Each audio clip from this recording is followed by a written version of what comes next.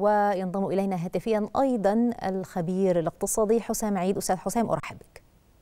أهلا وسهلا بحضرتك يا فندم وبالسادة المشاهدين. نعم. أستاذ حسام تابعنا كلمة الرئيس عبد الفتاح السيسي أمام الحدث الافتراضي نداء عالمي لقمة المستقبل ركز على نقطة هامة كانت ثاني النقاط ما يتعلق بإصلاح هيكل النظام المالي العالمي وأيضا مشاركة الدول النامية في أليات صنع القرار الاقتصادي.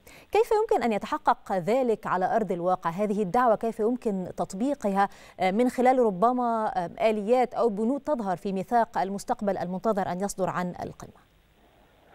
طبعا زي ما تابعنا كده خلال كلمه السيد رئيس الجمهورية عبد الفتاح السيسي خلال القمة وأعتقد إن القمة دي تأتي من منطلق أهمية أو رؤية مصر الهامة جدا من أهمية التعاون الدولي في ظل ما يشهده العالم والاقتصاد العالمي بصفة عامة من تحديات بداية من جائحة كورونا ومرورا بالأزمات الجيوسياسية ما بين روسيا وأوكرانيا وانتهاء بالأزمة الجيوسياسية وتفاقم وتصاعد حدة الصراع في منطقة الشرق الأوسط واللي كان ليها تأثير سلبي على أداء الاقتصاد العالمي بصفة عامة ودفعت معدلات التضخم نحو الارتفاع وتسجيل مستويات قياسية ودفعت أيضا تكاليف الإنتاج المباشرة نحو تسجيل مستويات قياسية ودي اللي دفعت أغلب أسعار السلع والخدمات الأساسية عالميا نحو تسجيل ارقاما قياسية وبالتالي شهد الاقتصاد العالمي تفاقم كبير جدا في الأسعار من السلع والخدمات الأساسية أثرت بشكل سلبي على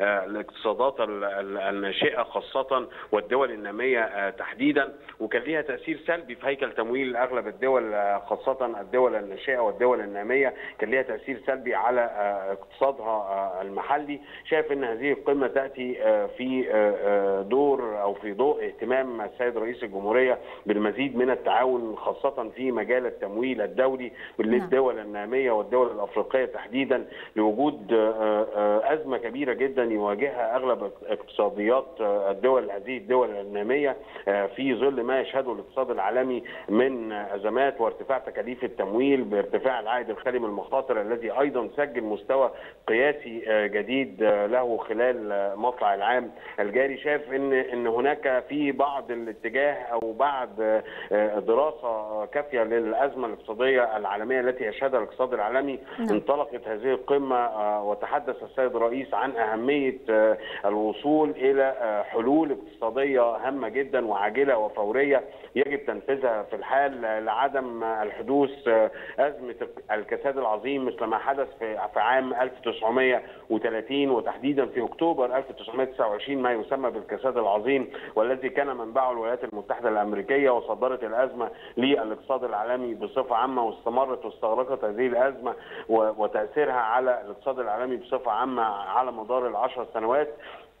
أعتقد إن السيد رئيس الجمهورية يعني أكد على ضرورة التعاون الدولي في في مجال الاقتصاد وخاصة التمويل وتوفير التمويل اللازم للخروج الآمن للاقتصادات للدول النامية والعبور الآمن من هذه الأزمة وتخفيف وتخفيض حدتها نعم. على هذه الدول أعتقد إن إحنا هنشوف في بعد انتهاء القمة هنشوف في بعض الإجراءات وبعض التحديات التي سوف تكون لها تأثير إيجابي على أداء الاقتصاد المصري وعلى أداء اقتصاد الدول النامية بصفة عامة وده هيكون ليه تأثير إيجابي على مؤشرات الاقتصاد نعم. للمنطقة وللدول النامية بصفة عامة. من خلال ميثاق سيصدر عن هذه القمة ميثاق المستقبل يعني كيف يمكن أن يطرح ما يتعلق بالشق الاقتصادي وتقويه دور الأمم المتحدة في فكرة الحوكمة الاقتصادية العالمية كما أشار الرئيس عبد الفتاح السيسي؟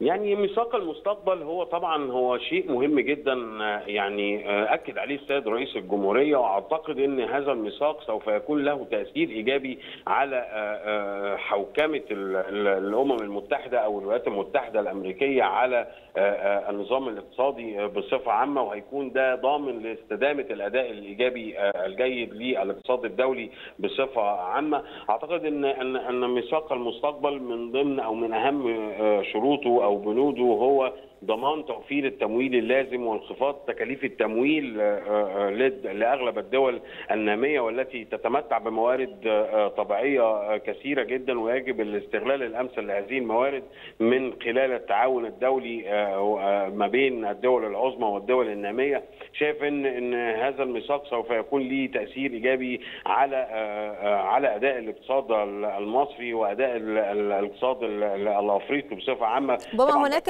إشارة لفكرة الحلول متعددة الأطراف. يعني هذا ما ستركز عليه القمة التي ستعقد بشكل يعني رسمي في الثاني والعشرين والثالث والعشرين من سبتمبر. الحلول متعددة الأطراف لمشكلات العالم.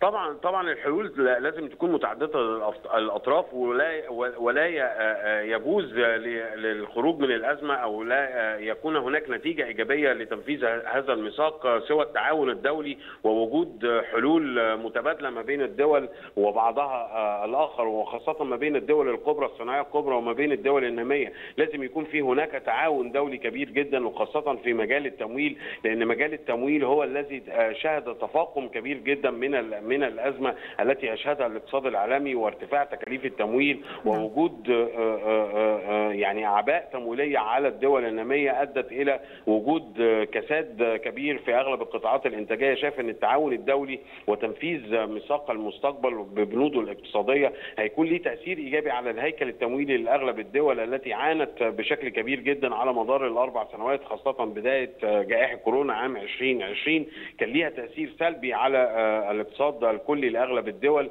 كان شايف إن هيكون ليها تأثير إيجابي وسوف تعبر بهذه الاقتصاديات الصغرى والنامية العبور الآمن من الأزمة التي يشهدها الاقتصاد العالمي بصفة عامة. نعم.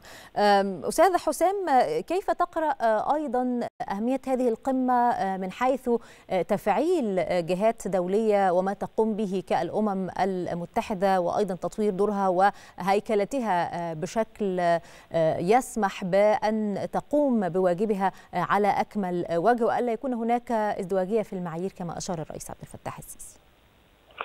طبعا الأمم المتحدة هي منظمة دولية هامة جدا. يجب أن تكون ملزمة لجميع الأعضاء لجميع الدول الأعضاء. شايف إن دورها لازم يكون فعال أكثر ويكون لها إلزام على قراراتها بتنفيذ قراراتها على الدول خاصه الدول العظمى في ظل طبعا أو على المستوى السياسي في ظل التوترات الجيوسياسية التي يشهدها أغلب أنحاء العالم. وطبعا شايف إن في بعض التكتلات العسكرية التي بدأت تنشأ من جديد ويكون لها مصدر قوة في بعض المناطق العالمية وخاصة في منطقة الشرق الأوسط. شايف إن دور الأمم المتحدة هام جدا خلال الفترة المقبلة لتخفيض حدة الصراعات الجيوسياسية ما بين الدول العظمى وبعض الصراعات على دول في الشرق الأوسط والمناطق التي تشتعل دايما بالأزمات الجيوسياسية. شايف إن لازم يكون في قرارات هامة جدا وحاسمة ويجب تنفيذها من الدول الأعضاء بقرارات الأمم المتحدة. نعم. شايف إن دور الأمم المتحدة كرقيب دولي ومنظم للعلاقات الدولية سواء على المستوى السياسي أو المستوى الاقتصادي هام جدا ويجب على جميع الدول الأعضاء الالتزام بقرارات الأمم المتحدة منظمة الأمم المتحدة. نعم. اذا ما تابعناه هو يعني فعالية على المستوى الرئاسي تمهيدا للقمة المنتظرة في الثاني والعشرين والثالث والعشرين من سبتمبر وأستاذ حسام هي بها مجموعة من المسارات الرئيسية كالتكنولوجيا المستقبل الرقمي والسلام والأمن والتنمية المستدامة والتمويل وأيضا ما يتعلق بالشباب ما الذي يمكن أن ننتظره من قمة كهذه تحمل هذه المسارات الخمس؟ يعني أنا شايف إن القمة تأتي يعني أو تهتم بمحاور هامة جدا بيعاني العالم كله من بعض الأزمات في هذه المحاور. شايف إن التنميه المستدامه من أهم المحاور التي يعني يجب تفعيل المبادرات أو ال أو ال أو ما تأتي بثماره هذه القمة تفعيل هذه المقترحات بعد انتهاء هذه القمة. شايف إن التنميه المستدامه من أهم المحاور التي اهتمت بها القمة وسوف تجد ليها حلول ويخرج من القمة بعض التوصيات التي يجب الالتزام بها وتنفيذها وتطبيقها خلال الفترة المقبله أيضا التمويل على مجال التمويل والمجال الاقتصادي أو على المستوى الاقتصادي. شاف إن ما يشهده العالم أو الاقتصاد العالمي من تحديات ومعوقات بدأت منذ بداية الأزمات العالمية كان يجب خاصة أو تحديدا بعد ارتفاع العائد الخالي من المخاطر وارتفاع تكاليف التمويل لازم أو أو يجب أن يكون هناك بعض المقترحات تكون لها تأثير إيجابي على الهيكل التمويلي للإقتصاد العالمي بصفة عامة نعم. ومع إعادة التكتلات أو إنشاء تكتلات اقتصادية جديدة جدا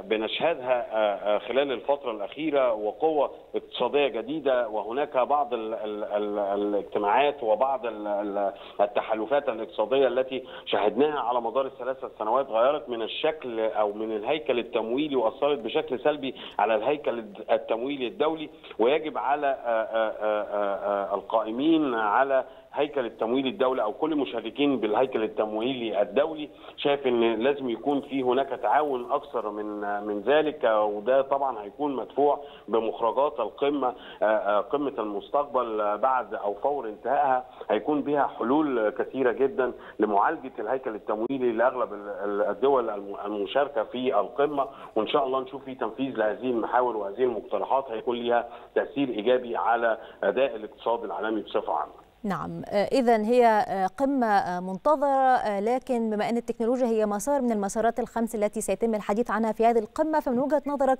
كيف ستسهم أيضا في دعم القضايا المختلفة وحل بعض هذه القضايا؟ وربما أن تصل بشكل أو بآخر بشكل أكثر فاعلية إلى الدول النامية والدول الأكثر فقر يعني أنا شايف إن التعاون على المستوى السياسي والمستوى الاقتصادي من أهم المستويات أو من أهم المحاور اللي بيكون ليها تأثير إيجابي على الأمن العام الدولي والاستقرار السياسي والاستقرار الاقتصادي. شايف إن هذه القمة يعني بعد تنفيذ توصياتها أو مخرجاتها والالتزام للدول المشاركة بهذه القمة بتنفيذ وتطبيق المخرجات من هذه القمة هيكون ليها تأثير على المستوى السياسي ويعود الهدوء مرة أخرى. للصراعات الجيوسياسيه تحديدا وانخفاض حدتها واللي كان ليها تأثير كبير جدا سلبي على أداء الاقتصاد العالمي بصفة عامة. نعم. شايف إن هيكون في هناك هدوء في حدة الأزمة الأزمات الجيوسياسية التي توالت منذ عام 2022 وطبعا هيكون ليها بالتبعية تأثير إيجابي على الاقتصاد أو حركة الاقتصاد العالمي وحركة التجارة الدولية بصفة عامة. وهيعود مرة أخرى الهدوء السياسي والهدوء الاقتصادي للعالم بعد تنفيذ مخرجات هذه القمة خلال الفترة المقبلة. نعم. أشكرك شكرا جزيلا الخبير الاقتصادي حسام عيد. شكرا لك.